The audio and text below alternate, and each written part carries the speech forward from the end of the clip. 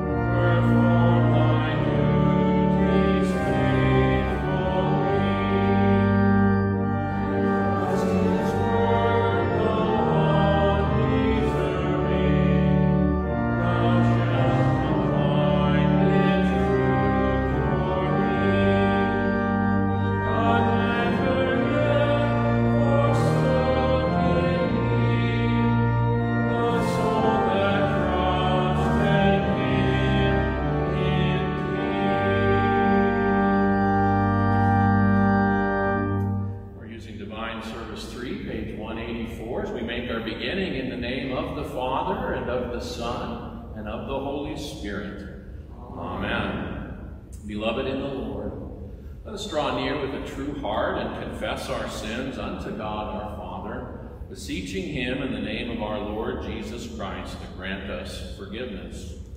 Our help is in the name of the Lord, who made heaven and earth. I said, I will confess my transgressions unto the Lord, and you forgave the iniquity of my sin. And you may kneel or you can be seated for our time of personal confession.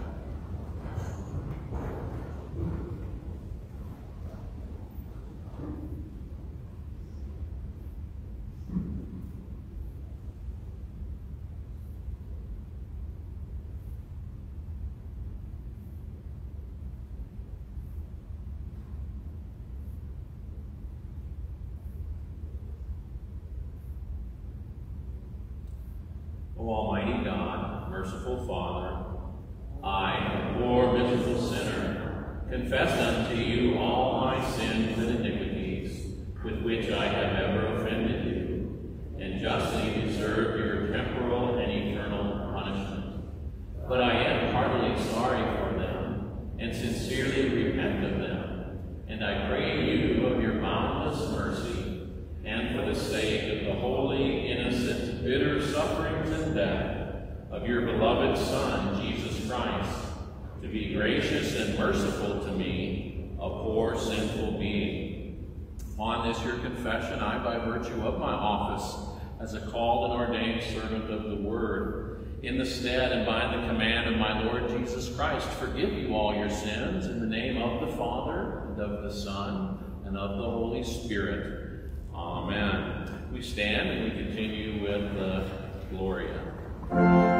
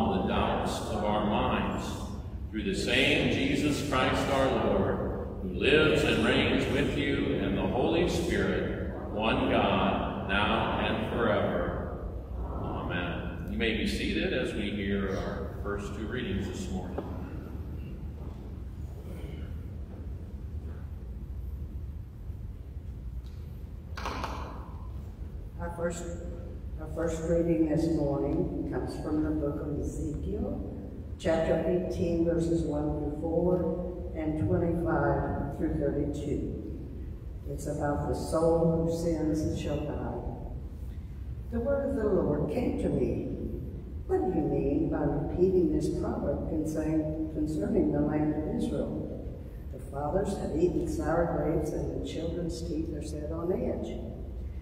As I live, declares the Lord God, this proverb shall no more be used by you in Israel. Behold, all souls are mine. The soul of the Father as well as the soul of the Son is mine. The soul who sins shall die.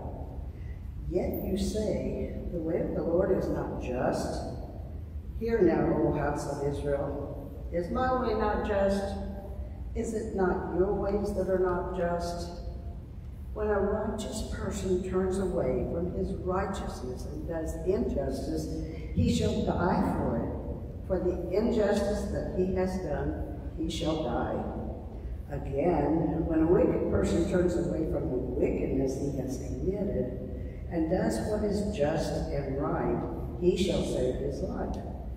Because he considered it and turned away from all the transgressions that he had committed, he shall surely live, he shall not die. Yet the house of Israel says, The way of the Lord is not just. o house of Israel, are my ways not just? Is it not your ways that are not just? Therefore, I will judge you, O house of Israel, every one according to his ways, declares the Lord God. Repent and turn from all your transgressions, lest iniquity be your ruin. Cast away from you all the transgressions that you have committed, and make yourselves a new heart and a new spirit. Why will you die, O house of Israel? For I have no pleasure in the death of anyone, declares the Lord God. So turn and live. This is the word of the Lord. Thanks, Thanks be to God. Our second reading is found in the book of Philippians, chapter 2, verses 1 through 4 and 14 through 18. And this is Christ's example of humility. So if there is any encouragement in Christ, any comfort from love, any participation in the Spirit, any affection and sympathy. Complete my joy by being of the same mind, having the same love, being in full accord one mind. Do nothing from rivalry or conceit, but in humility count others more significant than yourselves. Let each of you look not only at, to your own interest, but also to the interest of others. Do all things without grumbling or questioning, that you may be blameless and innocent, children of God without blemish, in the midst of a crooked and twisted generation, among whom you shine as lights in the world, holding fast to the word of life, so that in the day of Christ I may be proud that I did not run in vain or labor in vain, even if I am to be poured out as a drink offering upon the sacrificial offerings of your faith. I am glad and rejoice with you all. Likewise, you also should be glad and rejoice with me. This is the word of the Lord. Thanks be to God. I invite you to stand as we join in singing the Hallelujahs.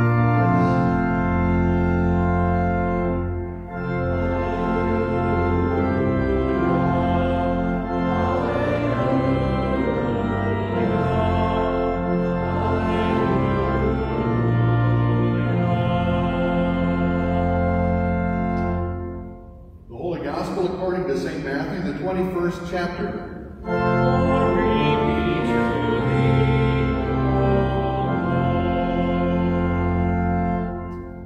When he entered the temple, the chief priests and the elders of the people came up to him as he was teaching and said, By what authority are you doing these things, and who gave you this authority?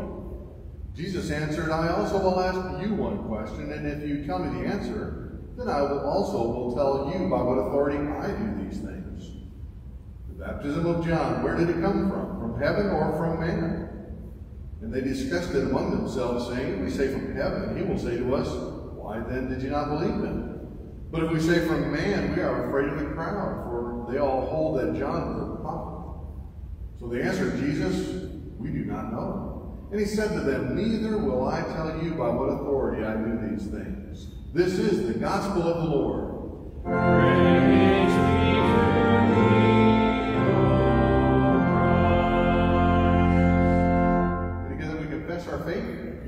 words of the Apostles' Creed. I believe in God the Father Almighty, maker of heaven and earth, and in Jesus Christ, his only Son, our Lord, who was conceived by the Holy Spirit, born of the Virgin Mary, suffered under Pontius Pilate, was crucified, died, and was buried. He descended into hell. The third day he rose again from the dead. He ascended into heaven and sits at the right hand of God the Father Almighty. From thence he will come to judge the living and the dead. I believe in the Holy Spirit, the holy Christian church, the communion of saints, the forgiveness of sins, the resurrection of the body, and the life everlasting. Amen. You may be seated. Amber will be sharing the children's message with us. And again, please take a moment, if you would, tear off the Connect cards and fill those out and drop those in the offering plates there as you leave uh, the sanctuary this morning.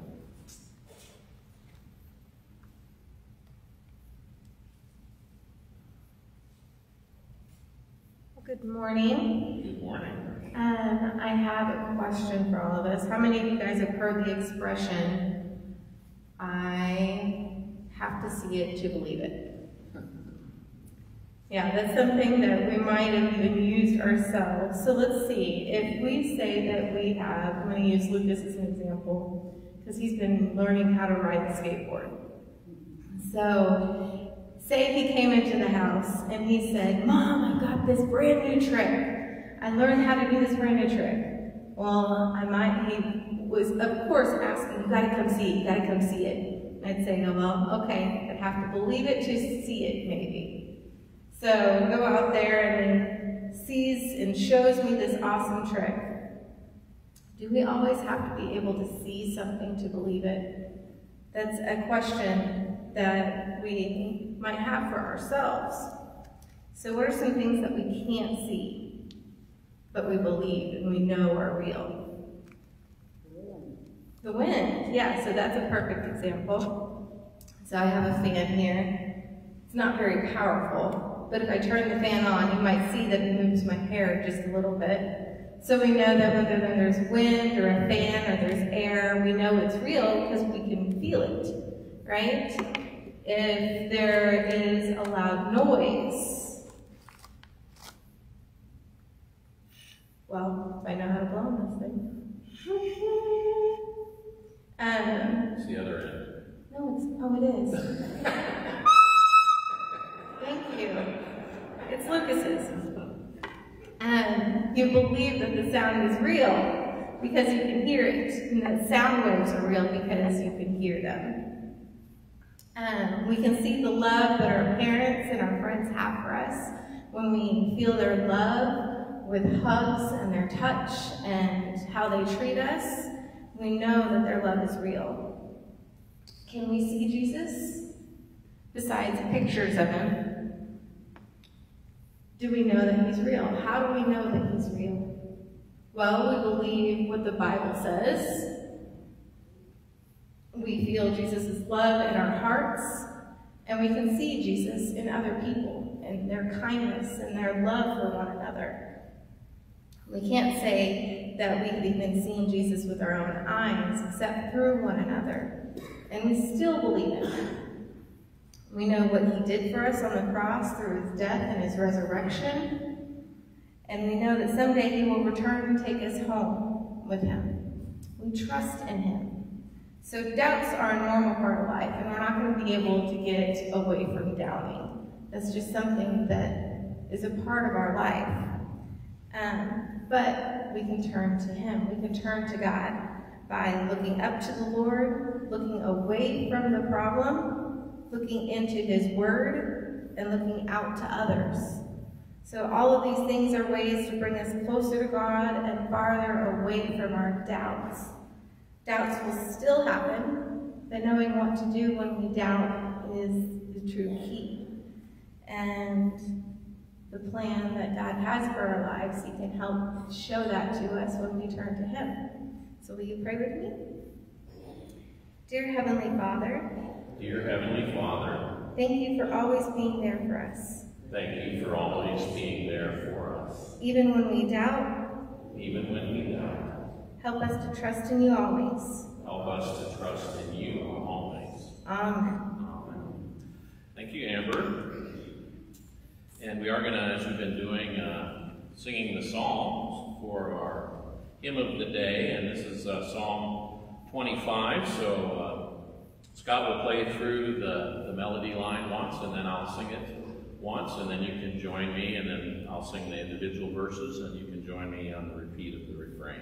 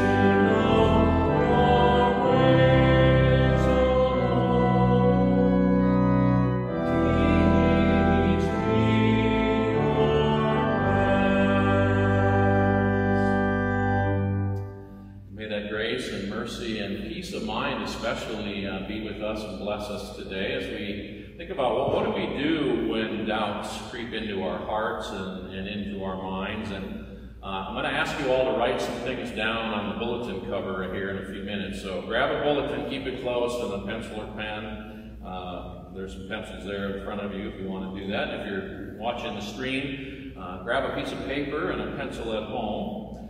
So today we're going to talk about, uh, by the way, we all could have this name, Israel. Do you remember who had the name, what was the name of the guy named Israel before he was named Israel? Jacob, that's right. So Jacob, that was the name, you know, he was uh, given at, at birth.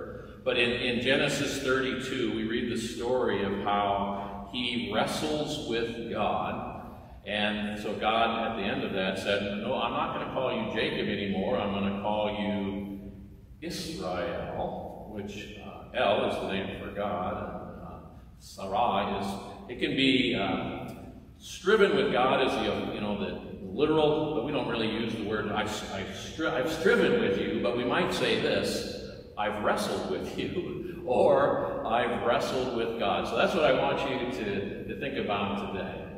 Where have, or maybe even where are in the present, are you wrestling with God? Sometimes we wrestle with God's will. You know, even the even the Ten Commandments, we wrestle with keeping them.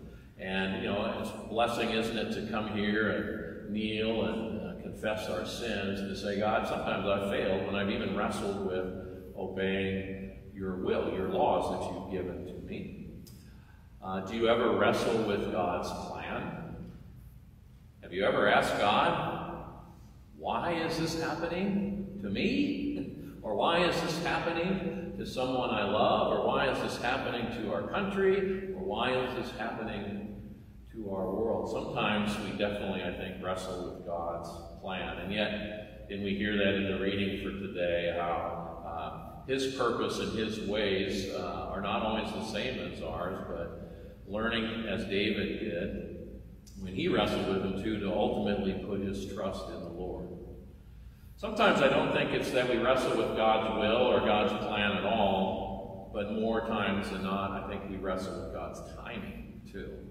You know, as if we say, well, here's here's what is uh, we think you want to have happen, God. Now, chop chop, God. Get with the program here. Let's get this thing going right? And sometimes God asks us to wait. Think about Abram and Sarah, who waited 25 years for the birth of their promised son, Isaac. And it wasn't as if God wasn't doing anything during that time of waiting. In fact, I think he really was preparing Abram not just to be father, which is what the name Abram means, but to be Abraham, or father of peoples. And he was strengthening him and, and growing him. And he still had his moments of doubt and wrestling.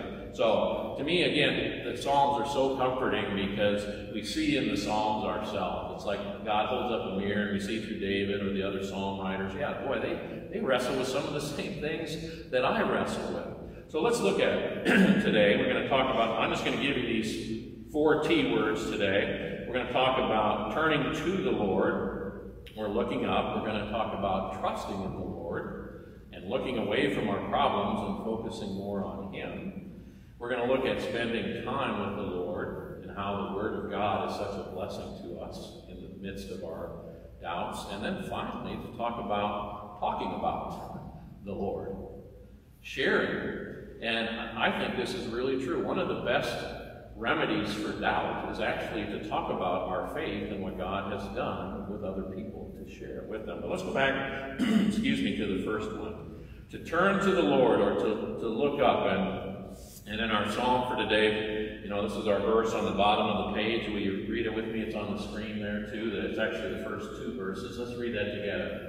To you, O Lord, I lift up my soul. O my God, in you I trust. Let me not be put to shame. Let not my enemies exalt over me. So, we're talking about looking up, looking up to the Lord. And kind of amazing that David says, My soul, lift up my soul to the Lord. You know, we kind of think about our brains, our minds, you know, as the source of, of our thoughts and our hearts as the center of our emotion. But really, when we talk about our soul, it's kind of like our entire being, especially our spiritual self. And David says, he often talked to his soul. you know, he says, Soul, why are you complaining? Soul, why are you doing this? You know, and he's really talking to himself. And he says, So I need to lift up my soul to the Lord. And you know what? That can be a challenge when life stinks. that can be a challenge when you're hurting. That can be a challenge when, you know, uh, there is illness or death or other brokenness in our lives and in our relationships. And it's really very easy for us to forget to do this, to intentionally look up to, the, to God, to bring whatever it is that is weighing down our hearts and minds to the Lord. And, you know, sadly, sometimes we don't even do that with big things, but I think very, very often in life, we kind of think the little things, I got this, God, I don't really need you, I can handle it myself. And and God says, But I still want you. I want you to lift that up to me. Lift up your soul to me and all the little things in life and, and the great big things in life. And that's a beautiful verse. To you, O Lord, I lift up my soul. So when you find yourself wrestling with doubts, when Satan tries to creep into your heart and into your mind, that's a good first step to stop and say, I need to focus on the Lord. I need to look up to God. I need to bring whatever this is and put it in his, in his very loving hands. So here's what I wanted to ask you to do. I thought about actually saying, I'm going to give you five minutes to write down as many uh, reasons to praise God, but uh, I don't want the sermon to go too long, so I'm going to give you one minute. So everybody grab your pencil or pen, and you can write it on here or somewhere else. If you got your phone, you can open up the notes and just start typing in there. But I'm going to give you one minute and just start listing as many things as you can think of, reasons to praise God. All right, ready? Go.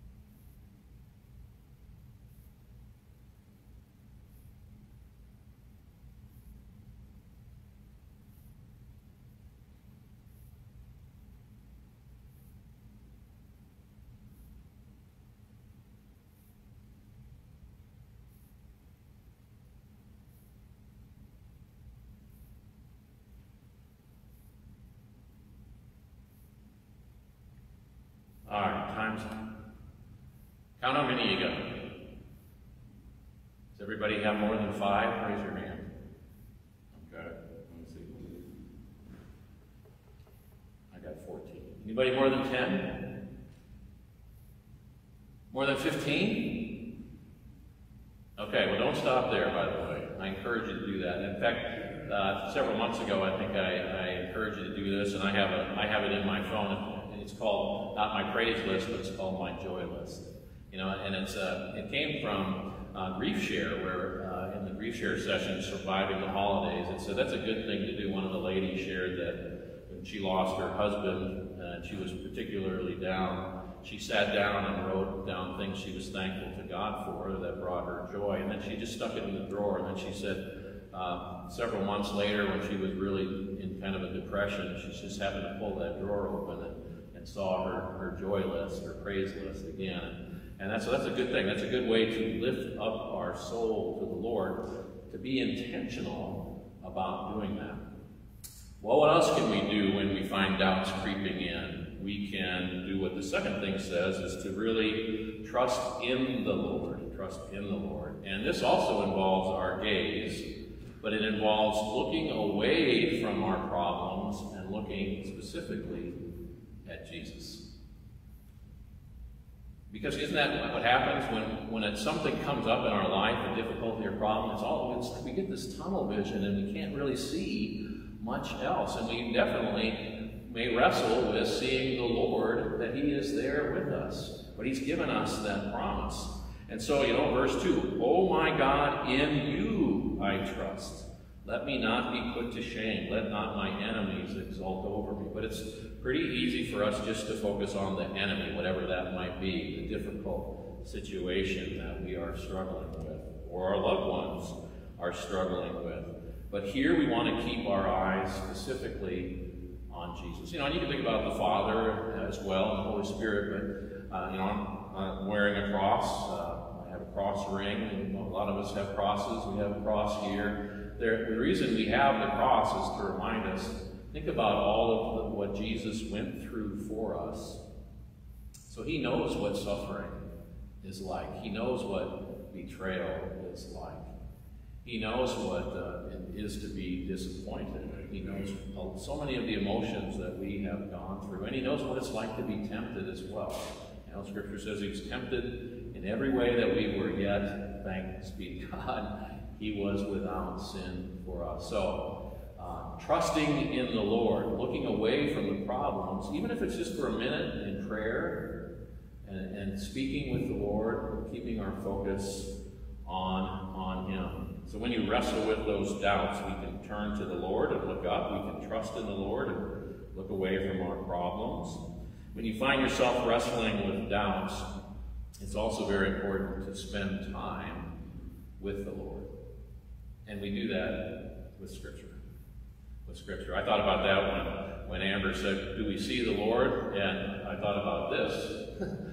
as we're having communion at late service, we do get to see the Lord as He comes to us in that miracle, you know, uniting His body with that bread and His blood with that wine, but, but also in the literal Word, where we get to hear God's words to us, His love letter to us. So if we find ourselves thinking maybe God doesn't love us, it's pretty nice to open up his love letter and to read his words and spend, spending time with the Lord in his word. And that's, you know, why worship is such a, a great way to start the week off. But that's not enough.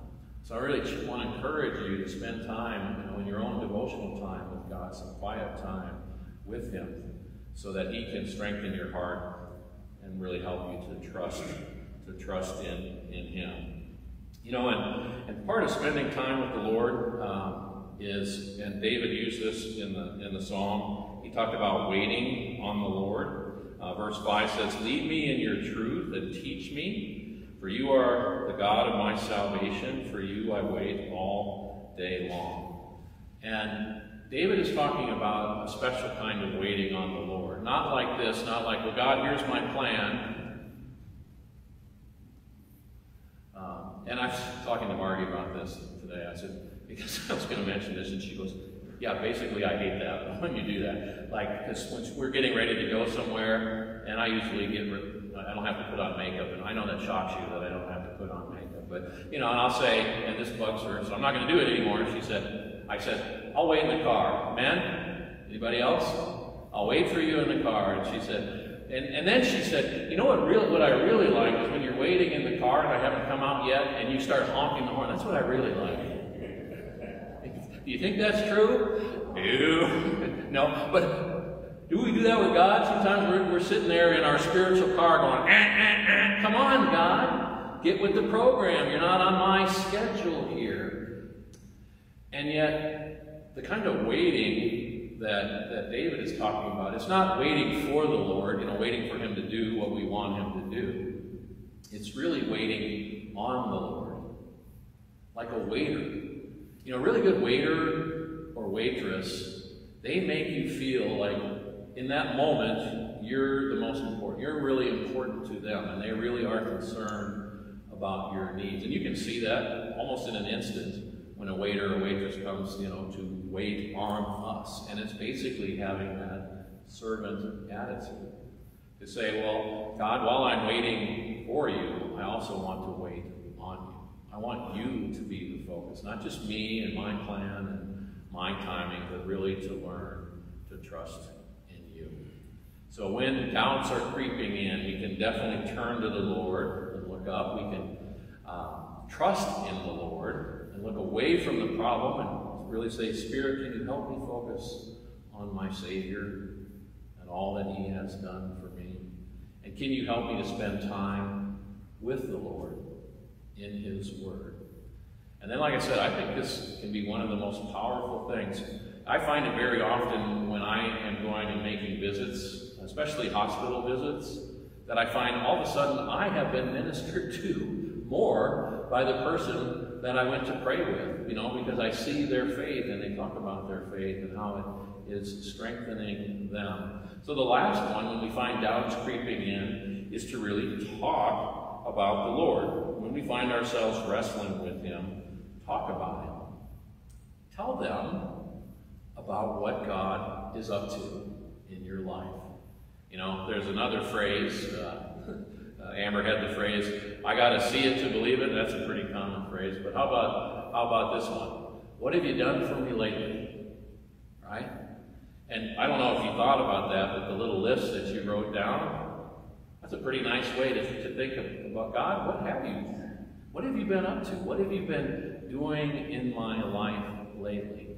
How are you blessing me, even in the midst of whatever it is that I am wrestling with? I still have many, many reasons to praise you. And one of his favorite ways for us to praise him is to use this to share with others what he's done. And let me just share three in particular. And I don't know whether these, I actually wrote these down because I knew what I was preaching on today, but I hope you thought of some, of these too. First of all, David in this psalm talks about the mercy of God. And it's a little bit different word from like have mercy on me, like because I need forgiveness, you know, getting not getting the punishment I deserve. This is actually the word in Hebrew that means tender compassion. So how have you experienced the compassion of the Lord? How have you experienced his tender heart for you? How could you share that story with someone else who needs to hear that, that message of God's tender compassion? Or just his love? How have you been experiencing God's love? And I love how Amber said that. So often we see the love of Jesus through the loving acts of our brothers and sisters in Christ. So, you know, we can talk about that love too, but showing that love is a great way to put those words uh, into action, isn't it? And then, last week we talked about the blessing of this. Remember this? Forgive us our trespasses as we forgive those who trespass against us. We can always talk about we have experienced the forgiveness of God, that He loves us unconditionally, that He forgives us unconditionally because of what our Savior has done for us. So that's some beautiful words that we can share. So when you find yourself wrestling with doubts, uh, this is a good reminder to myself and to all of you too, to, to look up and turn to the Lord to look away from our problems and to trust in the Lord. To look in His Word and really learn to, to uh, trust Him and let Him lead us and guide us, as David says in the psalm Lead me, teach me, guide me by your Word. But also to look out. Look out. Who are those people around you in your life who really need to hear you talk about the Lord and his mercy and his love his forgiveness. That's when we are placing our doubts in the hands of the Lord. Look up, look away, look in, look out. Amen.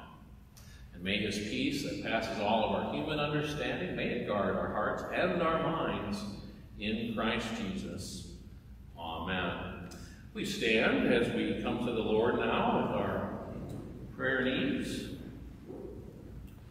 Look on the back of the bulletin there, you'll see some of the petitions. I do have a couple other updates uh, to share. Uh, Diane Ming asked for prayers for her uh, cousin on her mother's side, Chris Branscombe. He's been in the intensive care unit in Georgia. He uh, has double pneumonia. They thought maybe he had COVID, but it, uh, he actually tested negative for that, but he still was dealing with that. So he was on a ventilator and is now off the ventilator, but still in intensive care. So lift up Diane's cousin Chris.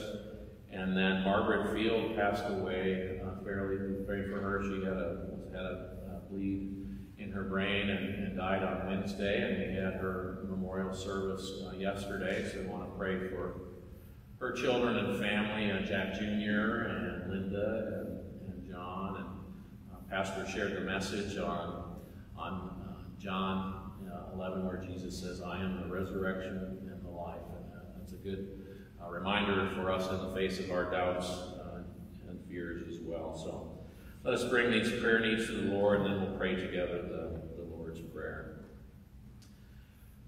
Uh, gracious Father, we give thanks for your holy word, uh, especially for the gift of the Psalms and how they echo the emotions on our hearts and minds and souls as well.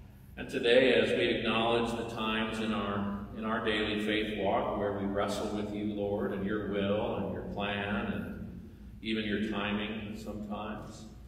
Help us to, as David did, to learn to put our trust in you, to turn to you, to keep our eyes focused on you, Lord, and all that you have done for us. But may we not only be encouraged by the gift of faith you have blessed us with, Holy Spirit, may we be bold as we talk about our Lord Jesus Christ and his love, mercy, grace, and forgiveness.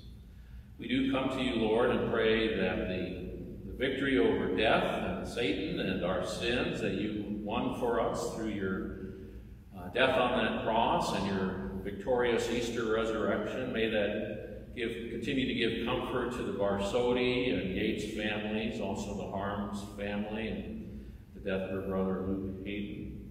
We continue to pray for Shannon and her family, mourning the death of her mother and Susan Michelle and the passing of her ex-husband Ray. And we add to those prayers uh, Jack and Linda and John and the rest of the Field family. And Lord, where you can use us as instruments of your love, hope, and peace uh, through our words and through our actions of love, uh, we offer ourselves to you.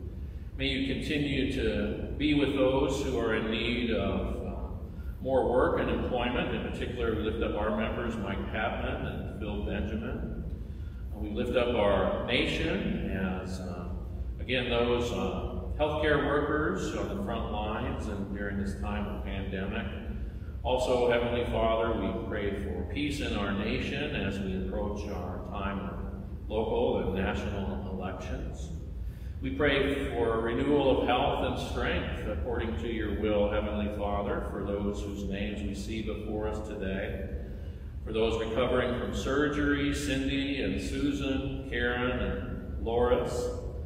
Uh, for those with ongoing health issues, Alice Giles and Al Seeliger and Jerry Mock. Uh, for those recovering from falls, Karen Woodward and Audrey Smith and Mildred Kiefer. We add to those prayers as well uh, Diane's cousin Chris, that you might bring healing to his lungs.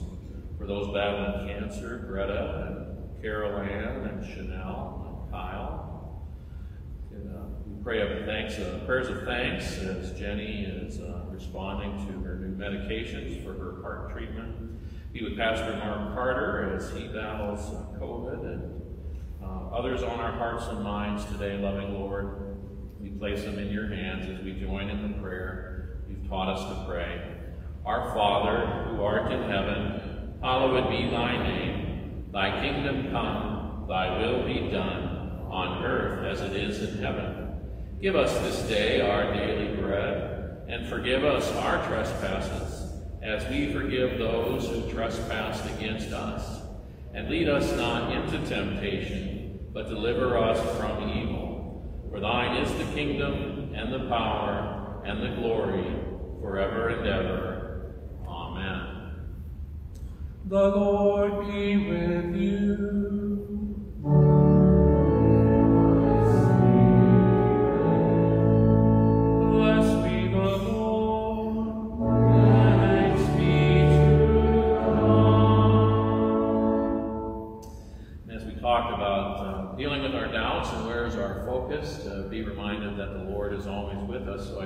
Benediction and blessing. As you go on your way, may God go with you. May he go before you to show you the way. May he go behind you to encourage you. beside you to befriend you, above you to watch over you, and within you to give you peace. In the name of the Father, and of the Son, and of the Holy Spirit. Amen. We close with, O God, our help in ages past.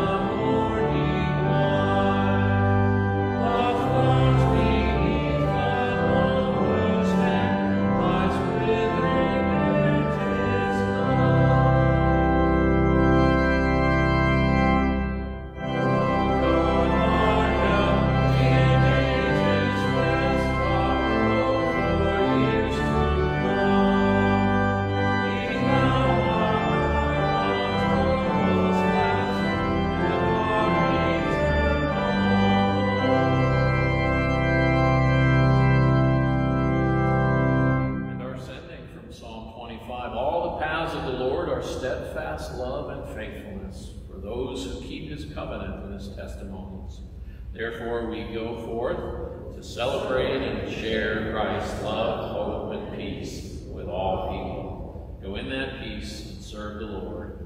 Thanks